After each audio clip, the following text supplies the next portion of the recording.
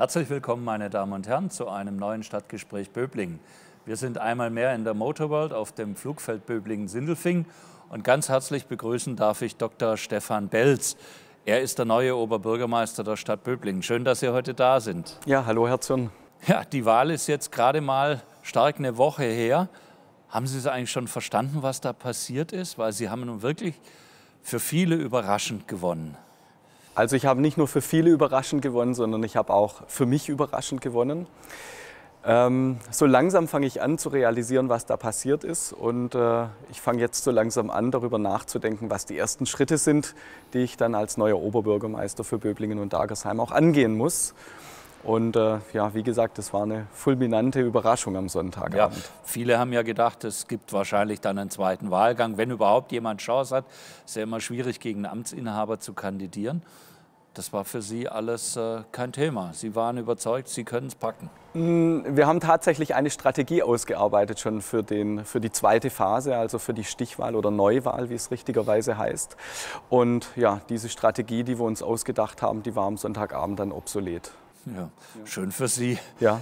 Ähm, Amtseinsetzung ist aber erst in ein paar Wochen, Anfang April. April ne? mhm, genau.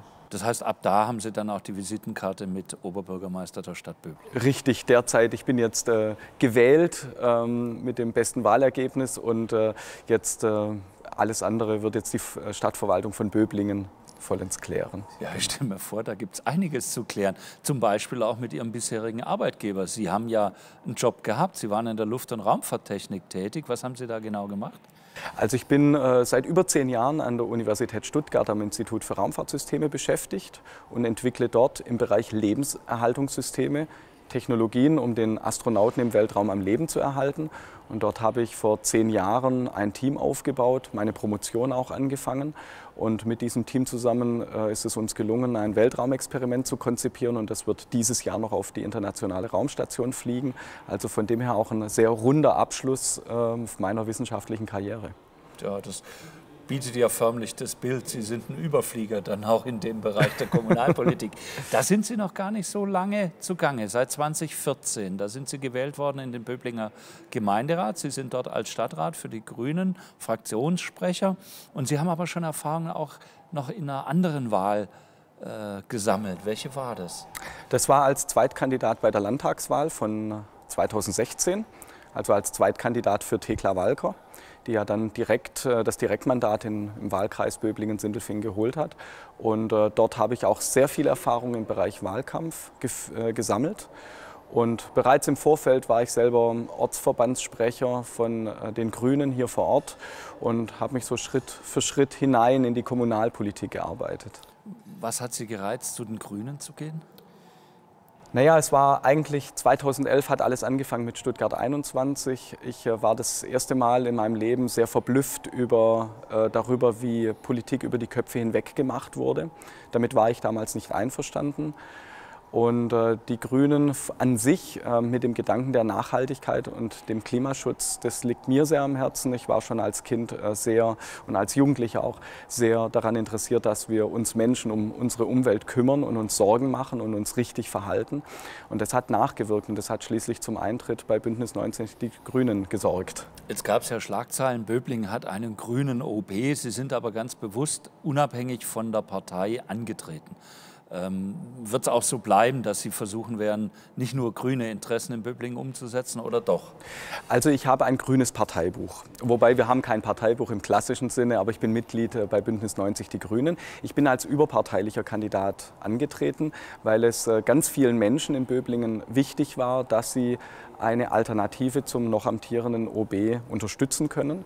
Deshalb hatte ich auch dann Unterstützung aus allen anderen Parteien auch oder aus vielen verschiedenen anderen Parteien. Ähm, deswegen werde ich jetzt natürlich meine Parteizugehörigkeit nicht aufgeben. Aber ganz klar ist auch, der Oberbürgermeister ist eine Persönlichkeitswahl. Und äh, eine Persönlichkeitswahl bedeutet, man identifiziert sich mit der Person und mit der Stadt und äh, ich werde nachher die Stadtinteressen vertreten und keine Parteiinteressen, habe aber natürlich einen bestimmten Fokus auf Nachhaltigkeit, auch auf Klimaschutz und äh, sozusagen das Bewährte bewahren und auch Neues wagen. Sie haben bestimmte Werte, ein bestimmtes Wertesystem und das äh, werden Sie natürlich nicht aufgeben Ganz genau. als Oberbürgermeister. Ja. Sie sind Böblinger. Was hat Sie jetzt gereizt, so eine spannende Stelle wie an der Uni Stuttgart aufzugeben, um als Oberbürgermeister zu kandidieren? Naja, es ist ähm, so, dass ich mir schon auch jetzt im akademischen Bereich überlegt habe, was mache ich nach diesem Weltraumexperiment. Dazu kommt, ich habe jetzt seit 2011 politische Erfahrung gesammelt und seit 2014 als Stadtrat. Und äh, es ist eine gewisse Leidenschaft auch entstanden, für meine Heimatstadt da zu sein. Ich muss auch ehrlich sagen, ich hätte nicht als Oberbürgermeister für irgendeine andere Stadt kandidieren wollen. Es war mir ganz wichtig, das für meine Heimatstadt zu tun. Und dazu kommt eben auch, das ist dann die andere Komponente dabei, dass ich äh, mit der Führung unserer Heimatstadt nicht zufrieden war, dass ich einen Un Unmut verspürt habe, auch in der Bevölkerung. Und das waren für mich, alle Zeichen standen auf Wechsel. Und deswegen habe ich dann entschlossen, ich möchte gerne Oberbürgermeister meiner Heimatstadt werden. Was ja gut geklappt hat. Ja. Ja, vielen Dank bis hierher, Dr. Stefan Belz, der neue Oberbürgermeister von Böbling. Meine Damen und Herren, wir machen eine ganz kurze Pause, bleiben Sie dran, denn dann werden Sie erfahren, was er so alles vorhat in Böbling, in seiner Heimatstadt.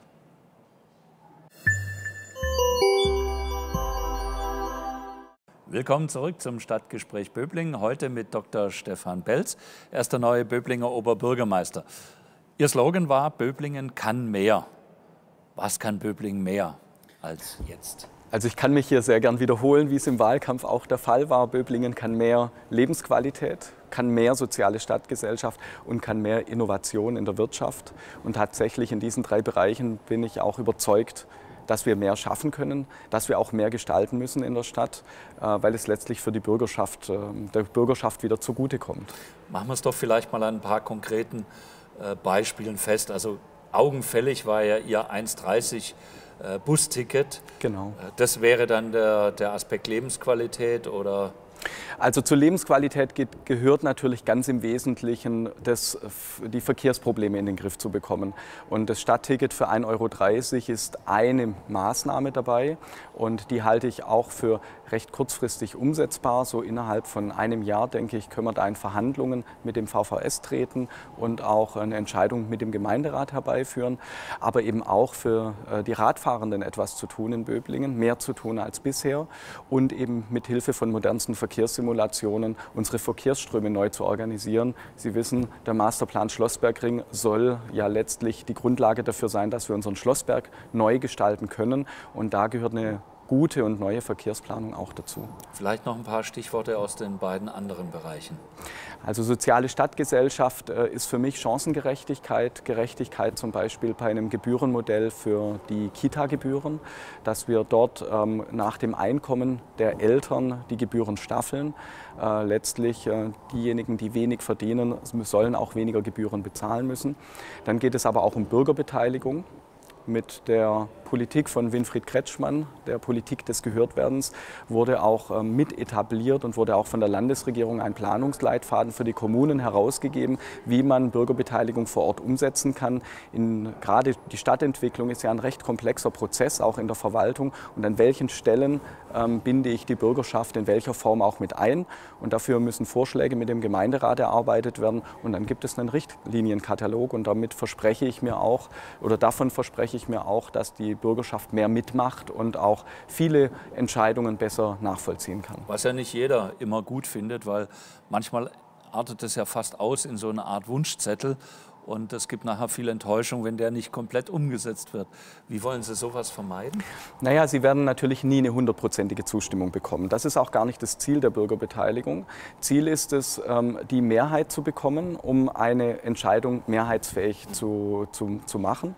Und diejenigen, die mit, der, mit dieser Entscheidung nicht einverstanden sind, können aber den Prozess nachvollziehen. Und das ist dann das Stichwort Transparenz. Das heißt, es ist nachvollziehbar, warum eine Mehrheit eine bestimmte Entscheidung gern haben möchte. Und die Verwaltung ist dann und auch der Oberbürgermeister sind dann damit beauftragt, diese Entscheidung umzusetzen.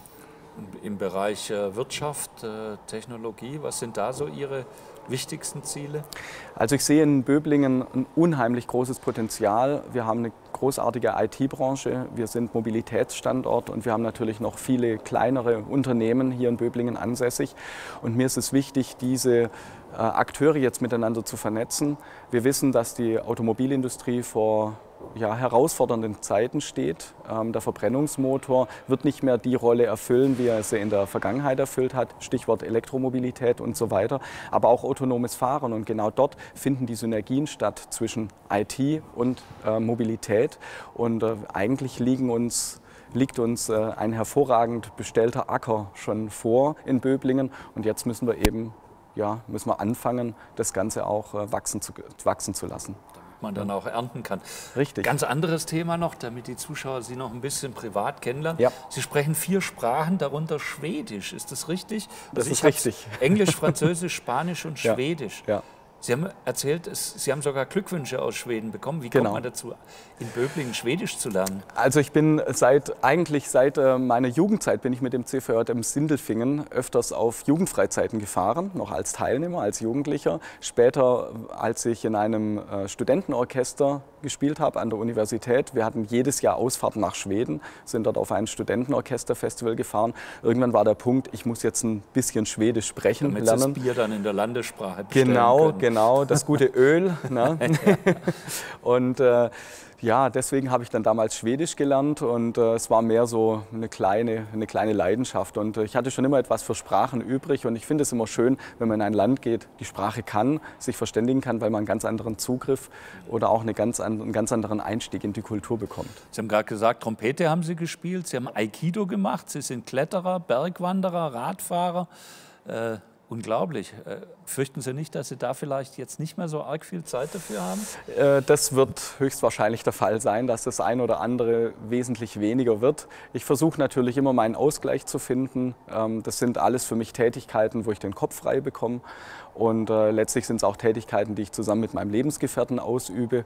Und ja, da erholen wir uns und da kriege ich den Kopf frei, um dann wieder für die Stadt da zu sein. Ja, dann erholen Sie sich jetzt erstmal gut von der Überraschung, sammeln Sie Kraft, damit Sie als neuer OB dann mit Volldampf einsteigen und wir wünschen Ihnen alle eine glückliche Hand und auch noch ein bisschen Freizeit, sodass Sie dann doch bei Kräften bleiben. Vielen herzlichen Dank, Dr. Stefan Belz, der neue Oberbürgermeister der Stadt Böblingen. Meine Damen und Herren, das war unser Stadtgespräch heute. Bleiben Sie noch dran. Wir haben noch viele schöne Sendungen hier auf Regio TV und natürlich nächste Woche wieder ein neues Stadtgespräch Böblingen. Guten Abend noch.